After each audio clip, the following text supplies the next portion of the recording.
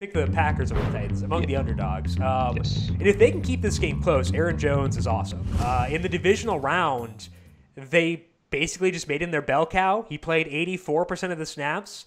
That was his second highest snap rate of the year. It was his highest in the game that Jamaal Williams played.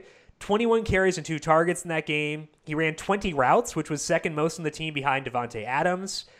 And it makes sense because the Packers have been a better team when Aaron Jones has been on the field this year. They've averaged 8.17 yards per pass attempt and 5.67 yards per pass attempt when he's off.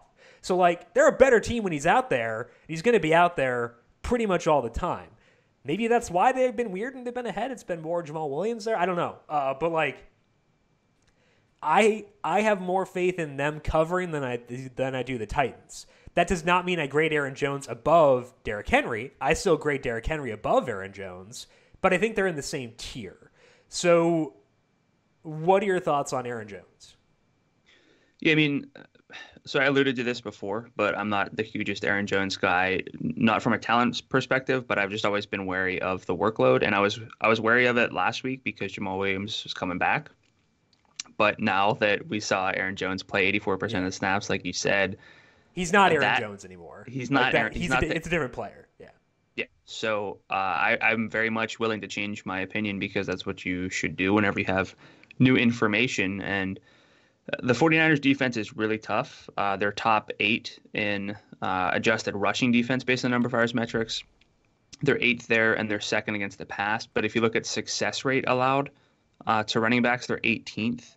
So he could kind of maybe get some space. Uh, they might limit big plays but Aaron Jones could be one of the paths to keeping it close and helping the Packers cover. So, uh, Aaron Jones, I'm not saying he's a, a priority play necessarily because I like Damien Williams so much, and I just don't have high expectations for the offense. But uh, for the price, I don't think that I would hate it if he were my second back because I couldn't get to Derrick Henry. Yeah. Uh, price considered, not considering other pieces in your lineup, would you put Derrick Henry above Aaron Jones or do you grade Aaron Jones higher? Wait, wait, price considered? Yeah. Um, I think realistically, it's still Henry by a tad, but Yeah.